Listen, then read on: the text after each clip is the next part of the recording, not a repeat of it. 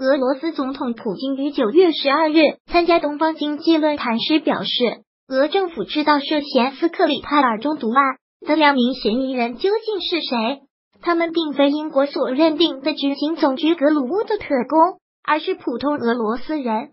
普京希望这两人可以在公众面前说出事实。就在发出呼吁之后不久，嫌疑人之一的亚历山大·彼得罗夫接受了俄罗斯二十四小时。电视频道的电话专访，他表示自己将会在媒体和民众面前讲出所有的一切。普京不过正是这位彼得罗夫，在英国复出他与毒杀案有所牵连时，表示自己从来没有秘密前往伦敦，也未曾去毒害斯克里帕尔。毕竟，以上话语是在俄罗斯 RT 电视台顺藤摸瓜找到他后，由其亲口说出的。在九月十二日接受。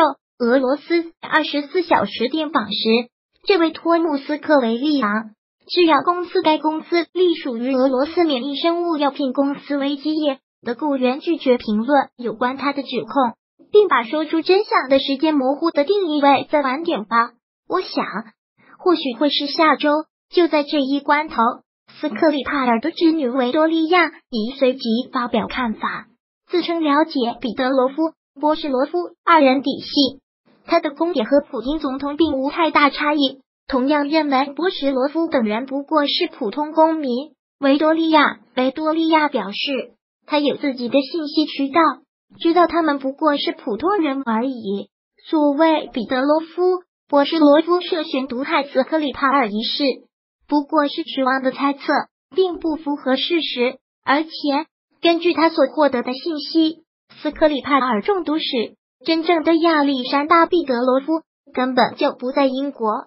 彼得罗夫、维多利亚两人最近透露的讯息很有意思。如果彼得罗夫真与此案无关，他为何不在英国怀疑其身份之后，立刻站出身来表露一切？维多利亚又究竟掌握着怎样的信息渠道？他凭借什么认定二人一定跟此案无关？这两人于九月十二日透露的讯息。在当下并未起到积极作用，云山雾罩一般的表述，反而使斯克里帕尔中毒案的案情更加复杂。彼得罗夫英国方面虽然摆出一系列物证，但既没有出示彼得罗夫、波什罗夫二人护照首页的照片，也没有拿出两人的英国签证。这些信息无疑有利于对这两位嫌疑人进行调查。如果有什么不方便透露，马赛克就是了。英国政府为什么不将如此强烈的证据公诸于众？目前看来，彼得罗夫、波什罗夫还是不能脱离干系。波什罗夫一直默不发声，仿佛人间蒸发一般。彼得罗夫在接受 RT 电视台俄罗斯二十四小时采访时，充满矛盾的言语也加大了笔者的怀疑。彼得罗夫将会说出什么？期盼下周可以赶快到来。二零一八年九月十三日。